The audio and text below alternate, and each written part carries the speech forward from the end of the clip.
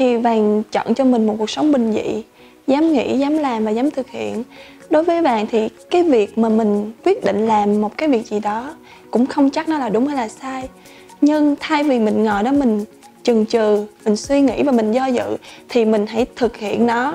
Và cũng cũng có thể là mình cũng không biết là đúng hay sai nhưng mà nó sẽ tốt hơn nhiều so với cái việc mình ngồi mình chờ đợi nó.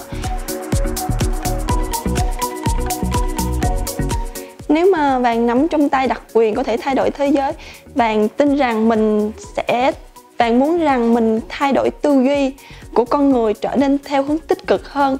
Bởi vì chỉ có tư duy tích cực mới làm cho cuộc sống của mỗi người trở nên tốt đẹp hơn.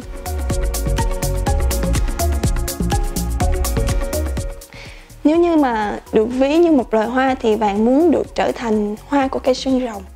Bởi vì theo bạn được biết thì cây xương rồng nó rất là hiếm khi ra hoa một khi nó ra hoa thì nó chỉ ra được một cái, một vài bông hoa thôi. Thì cái loài hoa này nó luôn mang cái một vẻ đẹp mãnh liệt, luôn tỏa hương và luôn xinh đẹp, cũng giống như là người con gái vậy đó. Con đường dài nhất. Không biết, con đường dài cây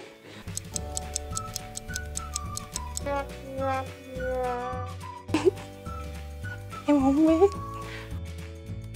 Dạ từ sai. Dạ đôi giày cao gót em mang đầu tiên là 12 phân dạ bánh tráng trộn. Dạ bằng nhau à.